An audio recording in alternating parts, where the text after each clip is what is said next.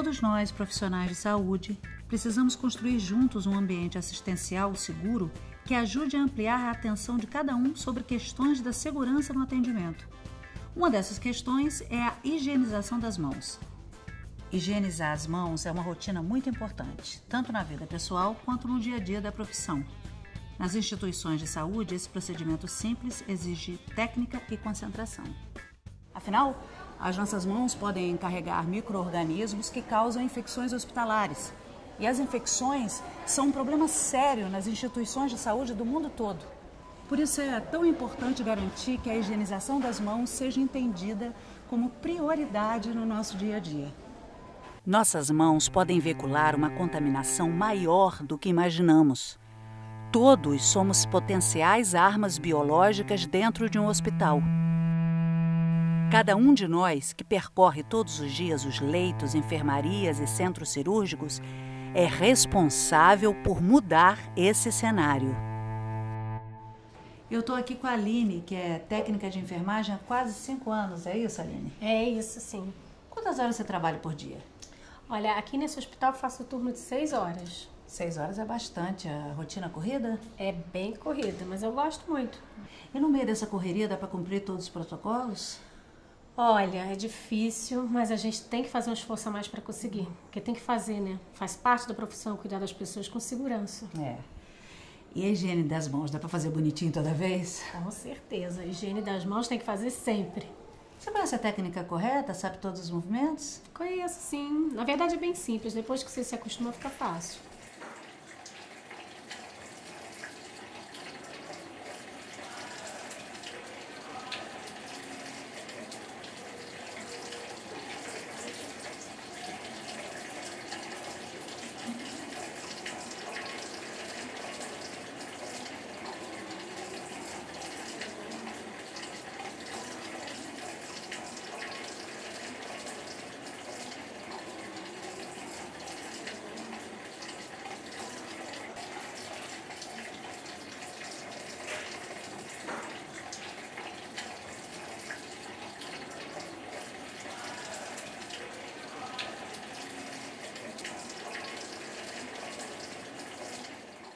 Para prevenir infecções, a higiene das mãos deve ser realizada diversas vezes, seguindo a técnica correta, ao longo de um dia de trabalho.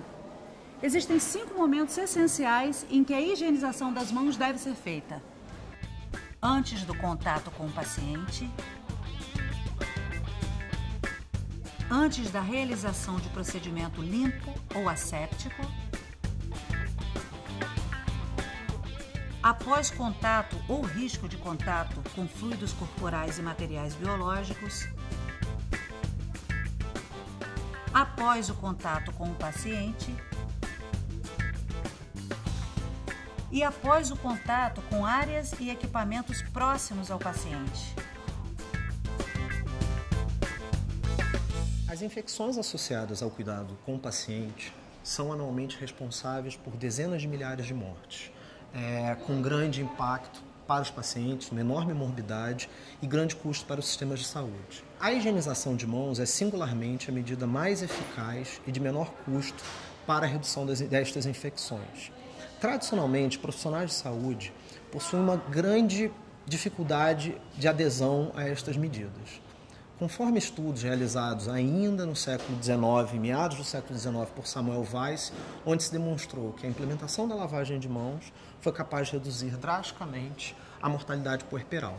Atualmente, diversos estudos focados nas medidas de higienização de mãos foram capazes de demonstrar impacto na redução de infecção por catéter, infecções de feridas cirúrgicas e infecções por germes multiresistentes. A implementação de medidas para o aumento do uso de técnicas de higienização de mãos é singularmente uma medida altamente custo-eficaz e com grande impacto para a melhoria da qualidade com cuidado com o paciente.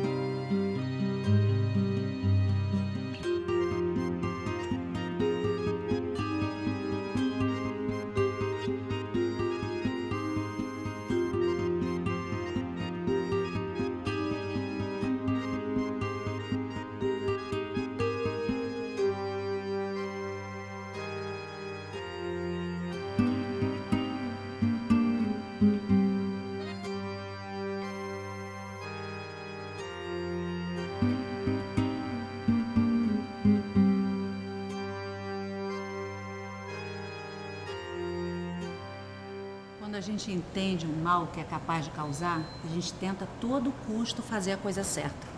A má higienização das mãos é um dos principais fatores de contaminação no hospital. O volume de casos de infecções hospitalares faz com que o tempo de internação aumente substancialmente. No Brasil, um em cada dez pacientes sofre algum dano relacionado ao cuidado de saúde. E mais de metade desses casos poderia ser evitada. É sempre bom lembrar que por trás de cada infecção hospitalar, de cada número ou estatística, existe uma pessoa com toda a sua história de vida.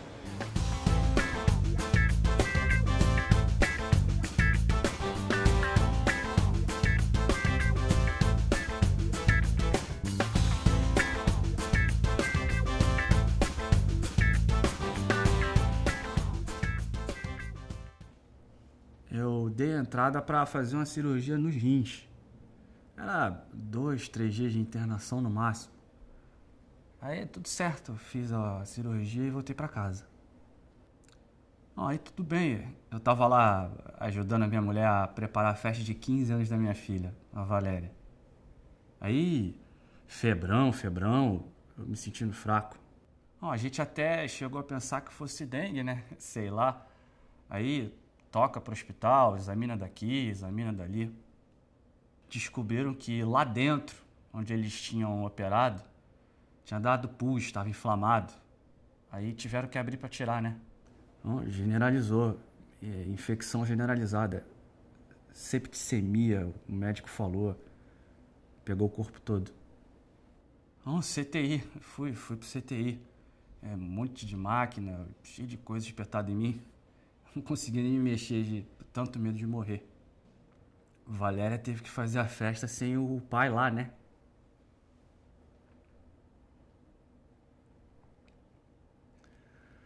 É, dois meses. Dois meses é, no quarto do hospital. É, eu só quero voltar para casa. Quero voltar para minha esposa e para minha filha.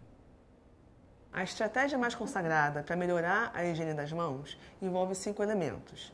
A provisão da estrutura necessária, com acesso fácil, contínuo e seguro à água, sabão e toalhas, além do acesso à formulação alcoólica no ponto de atendimento. Um outro elemento é a educação dos profissionais de saúde, que deve ser feita de forma regular e contínua, repetida ao longo do tempo. Um terceiro elemento são os lembretes no local de trabalho, como cartazes. Um quarto elemento é a avaliação da adesão à higiene das mãos e a qualidade, adequação dessas práticas com o retorno para os profissionais para que eles possam corrigir as falhas. E, por fim, o clima de segurança institucional uma instituição onde existe um clima de segurança significa que todos os profissionais estão cientes da importância da segurança do paciente e estão envolvidos nessa tarefa. Portanto, se um colega avisa o outro, olha, você esqueceu de higienizar as mãos, isso é percebido como algo positivo e não como uma fonte de constrangimento ou uma reprimenda.